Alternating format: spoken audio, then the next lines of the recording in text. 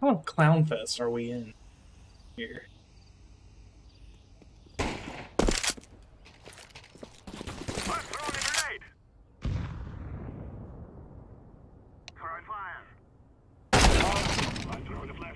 See, that that's the kind of stuff right there that happens to me. Then you see our And, teammates and right then there. that, yeah, and then There was one up that. mid. What do you mean?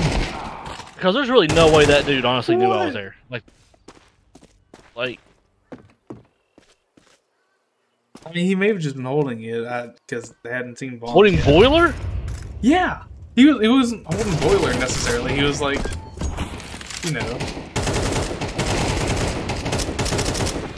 What the fuck? How? How?